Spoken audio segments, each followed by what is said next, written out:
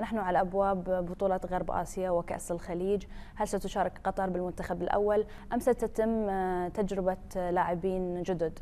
إحنا اعتذرنا عن المشاركة عن غرب آسيا من زمان يعني من أول ما جات الدعوة إحنا اعتذرنا لأن ما الوقت وقتها ما كان قريب جدا من كأس الخليج وخاصة إحنا تقريبا الفريق الوحيد اللي في غرب آسيا مع مع العراق ولبنان اللي نشارك في تصفيات كأس العالم فاعتذرنا عن المشاركة فيها.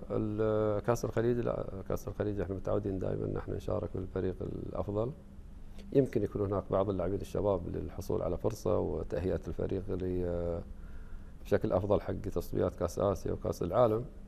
لكن دائما تواجد يكون بالفريق الأول الفريق اللي راح إن شاء الله يطمح للمنافسة على كأس الخليج.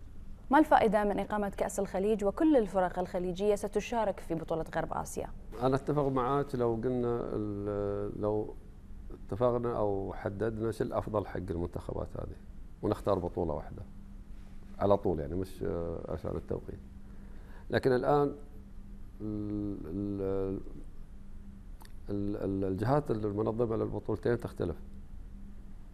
غرب آسيا في اتحاد غرب آسيا وهو مشكل من دول غرب آسيا كلها وبعضها تشارك في البطولات وبعضها لا تشارك على حسب. وفي لها نظام أساسي مختلف ورؤية مختلفة. كأس الخليج كلنا عارفين قصة كأس الخليج وأعتقد أنها قصة تاريخية يجب أن تستمر. آه، يمكن اللي خلاك تطرحين هالتساؤل مثل ما حصل قبل بطولة كأس الخليج في اليمن واللي حصل الآن أن بطولة غرب آسيا دائما تأتي في نفس السنة وقبل بطولة كأس الخليج بشهرين أو شهر.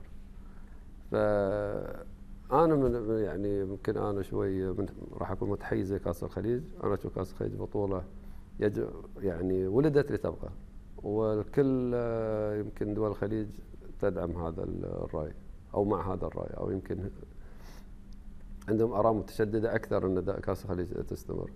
بطولة غرب آسيا يمكن الاتحاد ولد متأخر بعد كأس الخليج بفترة وممكن إعادة تنظيم أو برمجة البطولات بشكل أنه ما يصير هذا التعارض اللي اللي اللي قلتي عليه. فبالتالي الحل في التنظيم وليس في إلغاء مسابقة أخرى. رغم خصوصية بطولة كأس الخليج لأبناء المنطقة إلا أنها أصبحت عبء بسبب عدم وجودها ضمن خارطة الأجندة الدولية.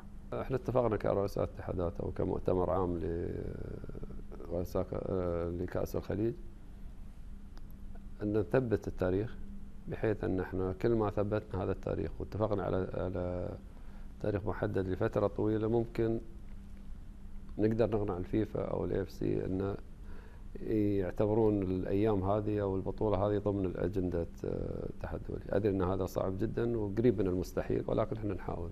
فأنا أشوف بطولة كأس الخليج يعني بالعكس تواجدها مهم. آه، في منتخبات اللي ما تواصل مشوارها في التصفيات وتحتاج إنها تلعب بطولات منتظمة. غرب آسيا أحد الاختيارات وكاس الخليج. آه، كلمة السر إن إحنا ننظم الوقت ونحدد فترة أو وقت محدد وتاريخ محدد ونستمر عليه فانا اعتقد بعدها ما راح نجد صعوبة في في في الزحمة اللي قلت عليها. إحنا عندنا مشكلة الحين مش كاس مش كاس الخليج عندنا مشكلة كاس آسيا أو الاتحاد الآسيوي اللي قاعد يخترع أجندات غريبة يعني حاط مباراتنا مع اليمن في 6 2 بعد كاس الخليج. آمنا بالله لأن هذا في فديت. عندنا إحنا كاس تصفيات كاس العالم. في فديت مع كوريا في كوريا يوم 26 3 طلع اخترعوا لنا تاريخ يوم 22 3 فمعناته أنا لازم ألعب مع البحرين كاس آسيا.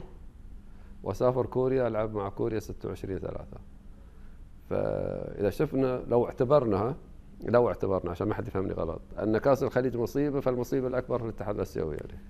توقعاتك بالفرق الأوفر حظا في البطولة المقامة في البحرين يناير القادم؟ منتخب البحرين أول منتخب آه، أنا أشوفه مرشح للبطولة. آه، لعدة أسباب منها أن أول آه، دولة قيمت عليها بطولة الخليج من المنتخبات القوية واللي ما حصل على بطولة الخليج لحد الآن. بما أن رئيس الاتحاد القطري يقول إن شاء الله أن أتمنى إن شاء الله أن قطر تكون مرشحة لكن دائما البلد المستضيف البطل البطولة اللي قبل اللي هو منتخب الكويت.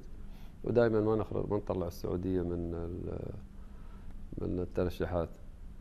آه، يعني باقي العراق والإمارات وعمان وكلهم صراحة فرق قوية. لكن أنا أقول لك الاقرب الأقرب حقيقة السعودية والبحرين. قطر لديها رصيد بخليج 11 وخليج 17 هل تنوون على اللقب الثالث؟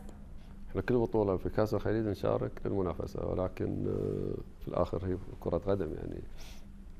فيه فرق أقوى منك مرات تكون وفرات تكون مستعدة بشكل أفضل.